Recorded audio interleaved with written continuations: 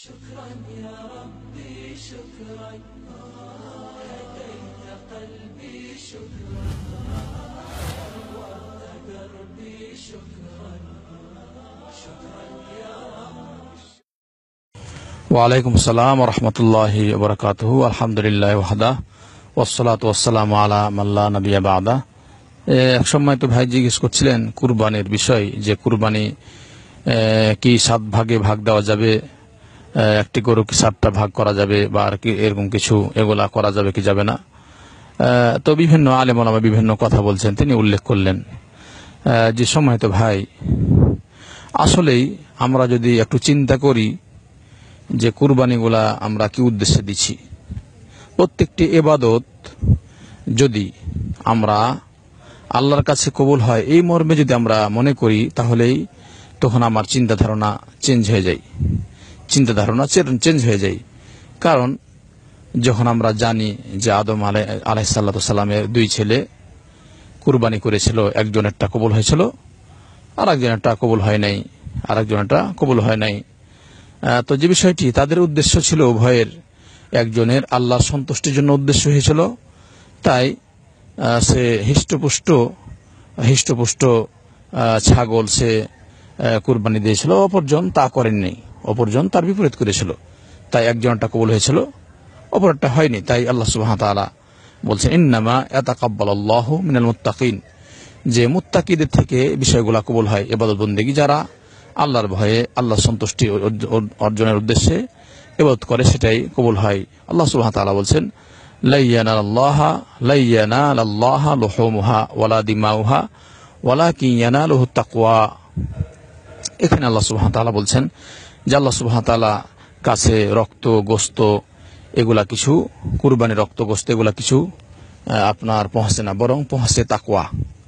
যে যেমন তাকওয়াশীল, তার বিষয়গুলা আল্লাহ সুবাহ তাআলার কাছে সেটা পৌঁছে যেমনটি হাবিল আর কাবিল, তার উভয়ের ঘটনা ঘটেছিল।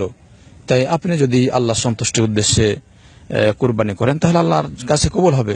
তাই আল্লাহ রসুল সাল্লাহ সাল্লাম তিনি একটি যান কুরবানি করেছেন, একটি যান কুরবানি করেছেন যা সহিহাজ দ্বারা প্রমাণিত। তো যে বিষয়টি হলো যে যদি আপনি একটি খাসি কুরবানি করতে পারেন, একটি জাত তাহলে আপনার সব, আপনার পরিবার, আপনার পক্ষ থেকে, পরিবারের পক্ষ থেকে আপনার হয়ে গেল। এখন যেহেতু আপনার গরু ভাগা হিসেবে আলেমলামা কেউ বলছেন হবে না, কেউ বলছেন হবে তো যে বিষয়টি যদি আপনার উদ্দেশ্যটা যাতে হয় যে কবুল হওয়া কবুল হওয়া যদি হয়, তাহলে একটি যান যদি করা যায়, তাহলে সব থেকে ভালো। সব থেকে ভালো, আর এটাই আপনার বিষয়টাই ধর্তব্য। তাই আপনার যদি টাকা পয়সা থাকে, তাহলে আপনি একটি খাসি খাসি আপনি ক্রয় করুন আপনি কুরবানি করেন কুরবানি করেন। আর যদি আরও টাকা থাকে, আপনি একটি যান, গরু দিয়ে দেন, বা আপনার টাকা থাকলে একটি উঁট দিয়ে দেন, যদি এরকম সম, পারেন। আর যদি না পারেন দেখা যায় অনেক সময়তে গরুর ভাগা দিতে যে দশ হাজার টাকা লাগে, সাত, আট হাজার টাকা লাগে। যদি আপনার না হয়, তো ছোট খাসি কোন- কিনুন বা ছাগল কিনুন, ছোটগুলা পাঁচ, সাত হাজার টাকা দিয়ে আপনি একটা যান। দিন ইনশাল্লাহ সেটাই কল্যাণ হবে। এখন ভাগা বিষয়গুলা বিভিন্ন জন বিভিন্ন কথা বলছেন। তবে সৌদি আরবের আলেমোলামা ইনারা ভাগাতে কুরবানি দিতে বলছে, লা বাসা বিহি, তার মানে অসুবিধা নেই। এটা সৌদি আরবের আলেমোলামা এবং আলেমোলামাগণ এভাবে তারা বলে। কিন্তু যে বিষয়টা হলো যে একটাতে কোনো সমস্যা নেই আর একটা হলো উত্তম। তো আপনার যেটা উত্তম কাজ, সেটা করার চেষ্টা করবেন। সে বিষয়টা করার চেষ্টা করবেন। আমরা সবাই যেটা ভালো কাজ সেটা করার চেষ্টা করি। যেমন আমরা বলি আউ্বাল অক্তে সালাত পড়া, যে প্রথম অক্তে আউ্বাল অক্তে সালাত পড়া উত্তম। আর পরে একটু দেরি করে ওটাও হয়ে যাবে, কিন্তু এটা এটা উত্তম হবে। তো আপনি উত্তম কাজগুলা উত্তম কাজগুলা করার চেষ্টা করবেন। কারণ বিভিন্ন জন বিভিন্ন কথা বলছে। কারণ আল্লাহ সুবাহ তাআলা বলছেন, আল হাক কুমির রব্বিকা ফালা তাকুনান্না মিনাল মুমতারিন। হক এসেছে আল্লাহর পক্ষ থেকে।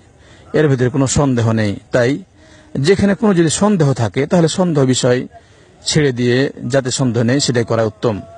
অন্য হাদিস আল্লাহ রসুল সাল্লাম বলছেন, দা আয়ুরিবুক মাল আয়ুরিবুক যেটা যাতে সন্দেহ রয়েছে, সেটা ছেড়ে দাও। সন্দেহমুক্ত আমল করো। সন্দেহমুক্ত আমল করো। তাই আমরা যদি একটি যান কুরবান করতে পারি, তাহলেই সম্ভবত আমার এবাদ বন্দীগুলো আল্লাহর কাছে বেশি গ্রহণীয় হবে। আল্লাহ যেন আমাদের সেভাবে করার তৌফিক দান করেন। আল্লাহ আলম। সুবহানাক আল্লাহ ইল্লা আনতা। আস্তাগফিরুকা ওয়া আতুবু ইলাইক।